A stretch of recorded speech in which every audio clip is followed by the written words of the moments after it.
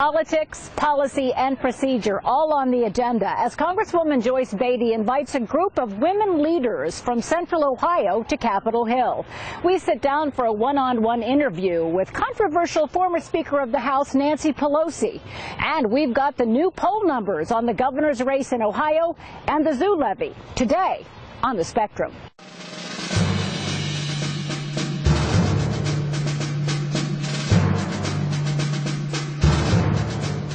Welcome to a special edition of The Spectrum coming to you today from Capitol Hill. I'm Colleen Marshall.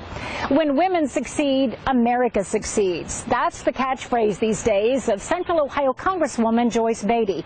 In fact, she convinced President Obama to use that phrase in the most recent State of the Union address. And it's the reason she hosted what she called a one-day women's fly-in. She invited women business leaders, leaders of education, insurance industry, health, and the media. She called all of us here for one day to talk about the issues that are important to Central Ohio and important to women. And I got the opportunity to sit down and talk to the one and only woman ever to serve as Speaker of the House, Nancy Pelosi. Nancy Pelosi is no longer Speaker of the House, but she is still a powerhouse and still pushing for issues important to other women child care, education, sick pay, and equal pay. So this was really important. Pay. Value the work of women. Pay equally and also pay better. But issues like equal pay, expanded health care, and her opposition to an expansion of force during the Iraq War often have this San Francisco area Democrat at odds with conservative pundits. I, uh, I really just wanted to thank you for having me over here to wine country. You know, to be uh, invited, I thought I had to be a major Democratic donor, a longtime friend of yours, which I'm not. Uh, by the way, I put poison in your. No, I. Her supporters say strong women like Pelosi and Hillary Clinton are out front on controversial issues, and that makes them easy targets. I asked her about that. I feel sorry for them if that's the way they want to characterize women.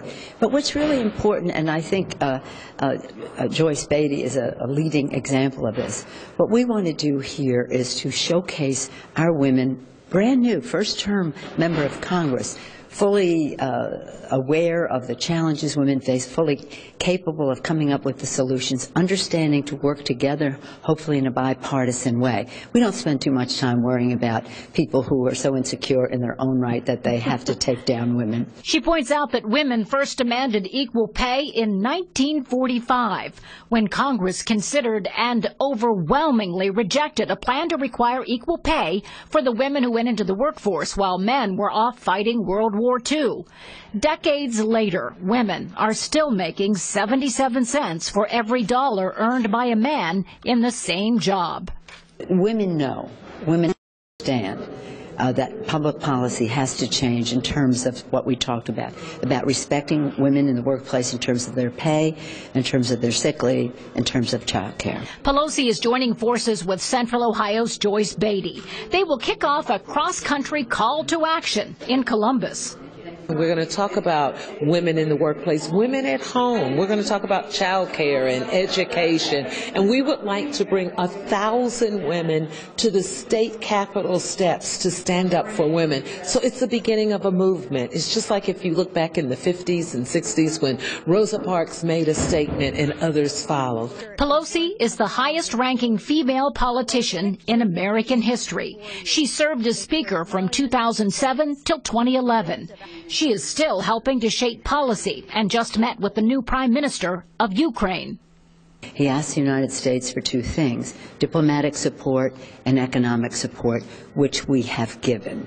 We hope, because there, there's just no option for us to be engaged in a military conflict, that Putin, the, the, the uh, sanctions that the President has put forth uh, will uh, have an effect and they will see the light. But we're not trying to pull the Ukraine one way or away from Russia. We're just saying you make your own decisions. Pelosi was the keynote lunch speaker for the group of Ohio women leaders, a favor to Congresswoman Beatty, who, as a freshman, is making friends in high places. The Central Ohio women leaders also got the chance to go to the White House for a backstage tour, you might say, of the West Wing. And they got to sit down with other members of Congress in a bipartisan meet and greet. And no topic was off the table. Because I'm on the Foreign Affairs Committee, and I tell people, you know, if you're on the Education Committee, go see the schools. If you're on the Foreign Affairs Committee, see the world. Florida Congresswoman Love is just back from seeing a troubled part of the world, Azerbaijan, Armenia, and Ukraine. It was about 20 years ago, and I don't know if you knew this, that Ukraine had one of the largest nuclear arsenals in the world. Did you know that? Frankel was one of about a half dozen members of Congress who met with the Ohio Women's Group, some on schedule, some by accident, including House Minority Whip Steny Hoyer, who we ran into in the halls of the Capitol building. Like a true politician, he took time to shake every hand and tell a story about when he was a first-year law student with a low-level summer job working in the Senate and working at a desk behind a young receptionist. Fast forward to 2007. The young lady sitting at the desk, the receptionist, was the Speaker of the House. Wow. And the first year law student sitting behind her was the Majority Leader.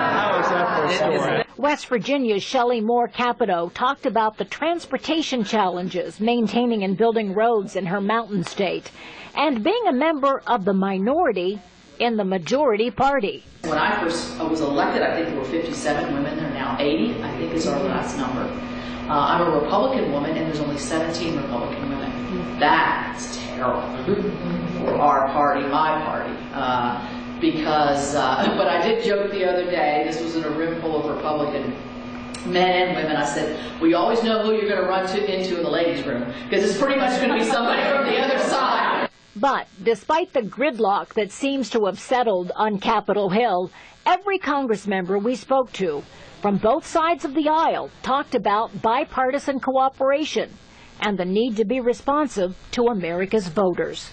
You know, people that send us here send us here because they have a confidence and a belief that we will do what is right. You know, you hear all of these voices, um, but what we don't hear is probably the 85% of the people we need to hear. And that's you. In just two days. Welcome back to this special edition of The Spectrum. I was one of 13 Central Ohio women invited this week to a leadership conference on Capitol Hill. Speaker of the House John Boehner himself had to sign off on this breakfast meeting inside a House caucus room that's usually reserved for members of Congress.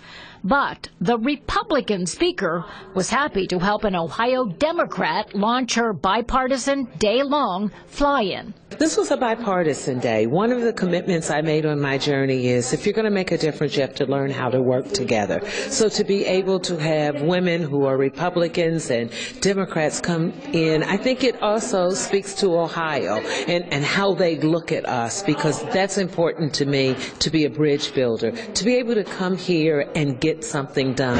At breakfast, attendees got a lesson in policies, procedures, and protocols and heard about the first female member of Congress Jeannette Rankin, who was elected in 1916 before women's suffrage, making her the only woman to vote to give women the right to vote.